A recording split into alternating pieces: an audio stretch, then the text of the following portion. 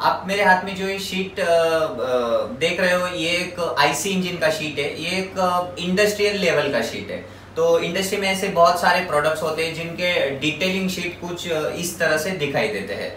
Uh, मैं आपको आगे आगे वीडियो में uh, कुछ और शीट्स भी दिखाऊँगा और उसके बारे में मैं आपको इन्फॉर्मेशन भी प्रोवाइड करूँगा।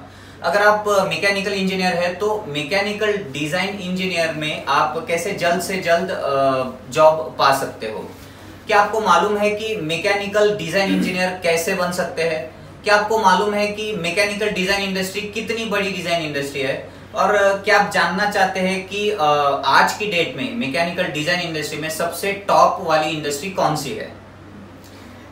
आप जो मेरे हाथ में ये शीट देख रहे हो, ये पिस्टन कनेक्टिंग रॉड और क्रैंक शाफ्ट का एनालिसिस किया हुआ शीट है। कंपनी में इसी तरीके से एनालिसिस किए जाते हैं। इसके बारे में मैं आगे भी आपको बहुत सारे इन्फॉर्मेशन बताऊँगा और ये भी बताऊँगा कि ये नॉलेज आप कहाँ से गेन कर सकते हो। आ, कौन सी ऐसी इंडस्ट्री है जो इस तरीके का इंडस्ट्रियल नॉलेज लेवल का सिलेबस सिखाती है? क्या आपको पता है कि मैकेनिकल डिज़ाइन इंडस्ट्री में अगर आपको सबसे ऊँची चोटी पर पहुँचना है तो आपको क्या करना पड़ेगा? और अगर आपको मैकेनिकल डिज़ाइन इंजीनियर बनना है तो कौन से सॉफ्टवेयर स्किल्स आपको सीखने पड़ेंगे? मैं आपको बताऊँगा मैकेनिकल डिज़ाइन फ़ील्ड में जॉब मिलने का सबसे आसान तरीका कौन सा है? मैं आपको बताऊँगा कि मैकेनिकल डिज़ाइन इंडस्ट्री में सबसे पॉपुलर सॉफ्टवेयर कौन से हैं। बिल्कुल ही परेशान होने की ज़रूरत नहीं है। अगले चंद ही मिनटों में हम ये सारे राज खोलने वाले हैं। और कुछ ही समय में मैं आपको मैकेनिकल डिज़ाइन इंडस्ट्री का गुरु मंत्र बताने वाला हूँ। मैं Alok Sasane professional mechanical design engineer और मैं ज्ञानेश्वर धनक सॉफ्टवेयर एक्सपर्ट मैं मान ही नहीं सकता कि मैकेनिकल डिज़ाइन इंडस्ट्री में रिसेशन है और जॉब मिलना बहुत ही मुश्किल है। सबसे पहले जान लेते हैं कि मैकेनिकल डिज़ाइन इंडस्ट्री कितनी बड़ी है। सबसे पहले रोज़ाना यूज़ होने वाली चीज़ों से शुरू करते हैं। जैसे कि यू पिन है स्टेपलर है पेन है इंक है शर्ट्स के बटन है। तो ये सारी चीज़ें बनाने के लिए मशीन्स लगती है। रोज़ाना हम जो कपड़े पहनते हैं वो कपड़ा और बनाने के लिए और सिलाने के लिए भी मशीनरीज लगती है। इंडिया की टेक्सटाइल इंडस्ट्री वर्ल्ड में टॉप इंडस्ट्री में गिनी जाती है। घर में यूज़ होने वाले होम अप्लायंसेस जैसे कि रेफ्रिजरेटर है कूलर है फ़ैन है टीवी है ये सारी चीज़ें मैन्युफैक्चर की जाती है। आ, इंडिया में सबसे ज़्यादा होम अप्लायंसेस की डिमांड है। इतना ही नहीं, हम जो मोबाइल यूज़ करते हैं लैपटॉप यूज़ करते हैं और कंप्यूटर यूज़ करते हैं, उनका भी नैनो लेवल पे कंपोनेंट्स का मैन्युफैक्चरिंग होता है। इंडिया की टेलीकॉम इंडस्ट्री बहुत ही अच्छी तरीके से अभी ग्रोथ कर रही है। हम जिसमें रोज़ाना ट्रेवल्स करते हैं, जैसे बाइक हो गई कार हो गई बस हो गई हेलीकॉप्टर्स एरोप्लेन्स ये सारी चीज़ें, ये सारे प्रोडक्ट्स बनाने के लिए बड़े बड़े प्लांट्स डाले जाते हैं। इंडिया का ट्रांसपोर्टेशन इंडस्ट्री जो है, उसका बहुत ही खास कंट्रीब्यूशन है इंडिया के जीडीपी ग्रोथ में। हम जिस रोड से ट्रैवलिंग करते हैं, जिस ब्रिज से ट्रैवलिंग करते हैं, जिस घर में रहते हैं, वो बनाने के लिए जो earth movers earth movers machineries लगती है, जैसे कि क्रेन, बुलडोज़र, रोड रोलर, ये बनाने के लिए भी मशीनरीज लगती है। इंडिया का इंफ्रास्ट्रक्चर इंडस्ट्री जो है, वो अभी बहुत अच्छी तरीके से तेज़ी से ग्रोथ कर रहा है। हम जिस बर्तन में खाना खाते हैं, जैसे कि तवा हो गया या फिर स्पून हो गया, कटोरी हो गया, चम्मच हो गया तो ये सारी चीज़ें बनाने के लिए मास प्रोडक्शन इंडस्ट्रीज़ की ज़रूरत होती है। आज इंडिया में जैसे जैसे पॉपुलेशन बढ़ते जा रहा है, वैसे वैसे स्टील इंडस्ट्रीज़ का भी तादाद बढ़ते जा रहा है। बीमार होने के बाद जो दवाई हम दवाई हम खाते हैं और खेती में जो पेस्टिसाइड्स यूज़ करते हैं, उसे बनाने के लिए केमल केमिकल इंडस्ट्री बनाई गई है। इंडिया में फार्मास्यूटिकल फार्मास्यूटिकल इंडस्ट्री भी बहुत अच्छी तरीके से ग्रोथ कर रही है। ये सब के बाद हम पावर इंडस्ट्री को कैसे नज़रअंदाज कर सकते हैं? आपके घर में जो बिजली आती है वो ऐसे ही नहीं आती है। आ, हमारा जो सिपाही भारत देश की रक्षा करता है उनके पास जो अत्याधुनिक हथियार रहते हैं जैसे कि ग्रेनेड्स राइफल्स बंदूक ये बनाने के लिए भी एम्यूनेशन फैक्ट्रीज होती है। आज हमने दुश्मन का सैटेलाइट गिराने के लिए मिसाइल बनाया है। इतना ही नहीं हमारे बहुत सारे सैटेलाइट्स आज अंतरिक्ष में घूम रहे तो इंडिया इसमें अपना वर्चस्व दिन ब दिन बढ़ा रहा है। हम जो स्वादिष्ट खाना खाते हैं जैसे कि दाल चावल तेल सब्ज़ियाँ ये सारे फ़ूड प्रोसेसिंग से प्रोसेस्ड होके आते हैं। इंडिया का एग्रीकल्चर यूनिट इंडिया के जीडीपी ग्रोथ में 20 परसेंट की हिस्सेदारी निभाता है। ऐसे बहुत सारे इंडस्ट्रीज़ है जैसे पेपर इंडस्ट्रीज़ हो गया प्लास्टिक इंडस्ट्रीज़ हो गया, कॉस्मेटिक इंडस्ट्रीज़ हो गया मल्टीमीडिया इंडस्ट्रीज़ हो गया, ऐसे सारे ऐसे बहुत सारे इंडस्ट्रीज़ रहते हैं। इतना ही नहीं, अपना जो डिजिटल इंडस्ट्री है, वो दुनिया के डिजिटल इंडस्ट्री में लगभग 80 परसेंट तक का कंट्रीब्यूशन रखता है। ये जज करना बहुत ही मुश्किल है कि मैकेनिकल डिज़ाइन इंडस्ट्री कितनी ह्यूज है। इसमें मैकेनिकल डिज़ाइन इंजीनियर का बहुत ही बड़ा योगदान है और जॉब की इसमें कोई भी कमी नहीं है। यस आलोक सर ये तो सच बात है कि आजकल डिजिटलाइज इंडस्ट्री बढ़ रही है। डिजिटल डिजिटलाइज इंडस्ट्री बढ़ने की वजह से सॉफ्टवेयर्स की बहुत ज़्यादा डिमांड है। चलो तो अभी हम जानते हैं कि मैकेनिकल डिज़ाइन में कैसे कंप्यूटर में प्रोडक्ट डिज़ाइन किया जाता है। मैकेनिकल डिज़ाइन इंडस्ट्री में तीन डिपार्टमेंट्स में काम चलता है, जो कि कैड कैम और सी कहलाते हैं। कैड इसमें मशीन का थ्री मॉडलिंग किया जाता है। कैम में उसका मैन्युफैक्चरिंग कोड जनरेट किया जाता है और सी में उसका फेल्यूर एनालिसिस किया जाता है। कैड में मतलब थ्री मॉडलिंग में CATIA Creo solid works NX CAD Autodesk Inventor जैसे सॉफ्टवेयर यूज़ किए जाते हैं। कैम में मतलब कंप्यूटर एडेड मैन्युफैक्चरिंग में एनएक्स कैम डेल कैम जैसे सॉफ्टवेयर यूज़ किए जाते हैं। और लास्ट में जो है C A computer aided engineering इसमें ANSYS Workbench ANSYS Fluent NX Nastran HyperMesh जैसे सॉफ्टवेयर यूज़ किए जाते हैं। बहुत अच्छी बात है मौली सर। अब मैं आपको बताना चाहूँगा कि कैसे एक प्रोडक्ट डिज़ाइन एंड मैन्युफैक्चरिंग होता है। हम एक एग्जांपल के तौर पे कंसिडर करते हैं कि टाटा टियागो कैसे बनती है। टाटा ने सबसे पहले कंसिडर करते कि एक टाटा टियागो का एक मॉडल पर्पज ड्राइंग है। टाटा ने सबसे पहले इसका एक डिज़ाइन कंसिडर किया डिज़ाइन फाइनल किया। उस डिज़ाइन में उन्होंने कार में जितने भी कंपोनेंट्स है, ये सारे कंपोनेंट्स कंसिडर किए, जैसे कि डैशबोर्ड और हेडलाइट्स उसका bumper then tyres then engine chassis ऐसे बहुत सारे कंपोनेंट्स का टाटा ने सबसे पहले डिज़ाइन फाइनल किया। जब ये डिज़ाइन फाइनल हुआ, तब टाटा ने वो डिज़ाइन के लिए अपना प्लांट डिज़ाइन किया सबसे पहले। फिर जब ये मैन्युफैक्चरिंग का या फिर डिज़ाइन का बात आता है, तब इसमें से only ten percent components Tata खुद मैन्युफैक्चर करती है। और 90 परसेंट कम्पोनेंट्स के लिए टाटा वेंडर्स को हायर करती है। अब टाटा सपोज़ फॉर एग्जांपल इसमें जो ये टायर्स यूज़ किए गए टाटा टियागो के मॉडल में, ये गुड ईयर कंपनी के टायर्स हैं। अब टाटा ने क्या किया कि ये जो टायर का डिज़ाइन है, वो गुड ईयर कंपनी को हैंड ओवर किया। अब गुडियर कंपनी ने इस डिज़ाइन और क्वांटिटी के हिसाब से अपना प्लांट सबसे पहले डिज़ाइन किया। और फिर उन्होंने उसके लिए स्पेशल पर्पज़ मशीन यूज़ किया। एट दी लास्ट टाटा के पास ये सारे वेंडर्स से वेंडर्स से कंपोनेंट्स आते हैं।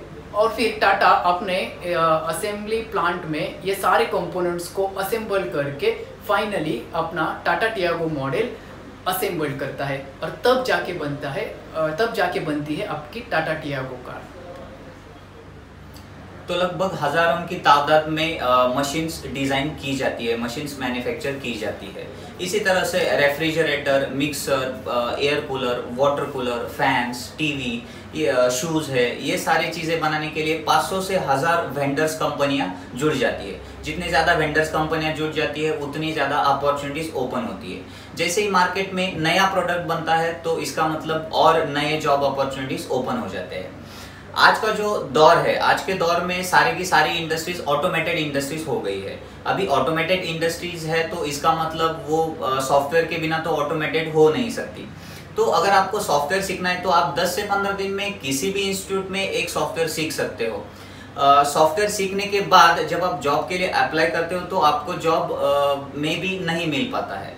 तो जॉब ना मिलने का एक सिंपल सा रीज़न होता है कि जब भी आपका इंटरव्यू होता है, आप वो इंटरव्यू क्रैक नहीं कर पाते हो।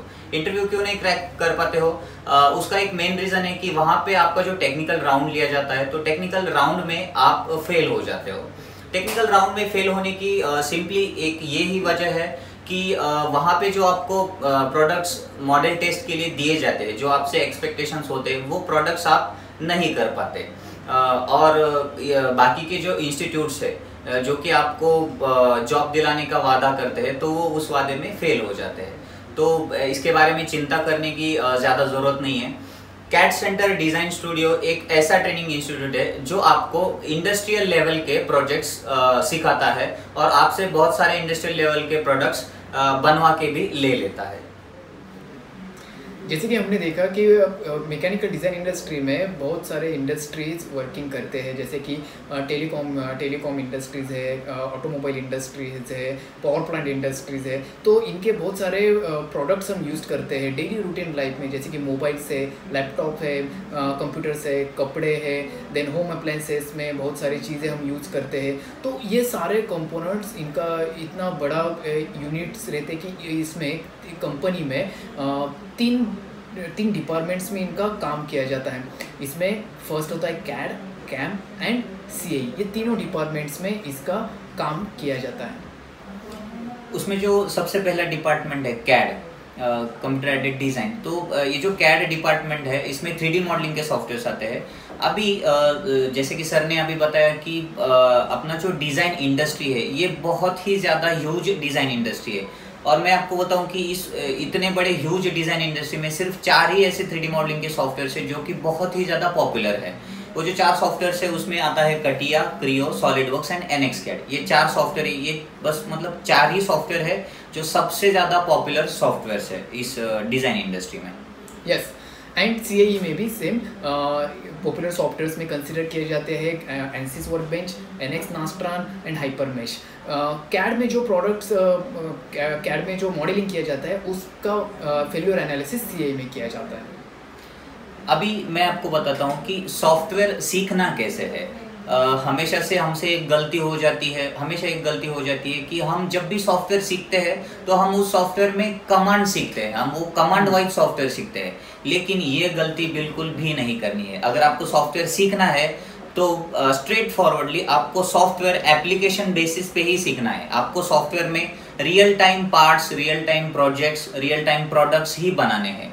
अभी real time parts real time projects का मतलब क्या होता है कि अगर आपको कोई सॉफ्टवेयर सीखना है तो उस सॉफ्टवेयर में आपको इंजन बनाना है उस सॉफ्टवेयर में आपको शूज़ बनाना है उस सॉफ्टवेयर में आपको पेन बनाना है उस सॉफ्टवेयर में आपको कार का बॉडी बनाना है सीपीयू बनाना है डेस्कटॉप बनाना है मोबाइल बनाना है टीवी रेफ्रिजरेटर मिक्सर ये जो सारे के सारे प्रोडक्ट्स है पार्ट्स है, ये पार्ट्स आपको रियल टाइम उस सॉफ्टवेयर में बनाने हैं यस yes.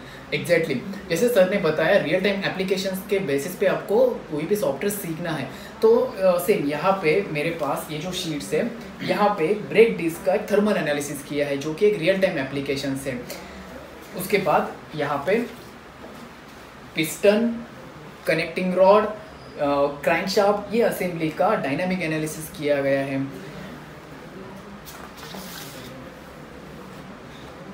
देन ये जो स्पर गियर है, इसका भी स्ट्रक्चर प्लस थर्मल एनालिसिस किया गया है। तो इस टाइप के आपको रियल टाइम एप्लीकेशंस के बेसिस पे कोई भी सॉफ्टवेयर सीखना है।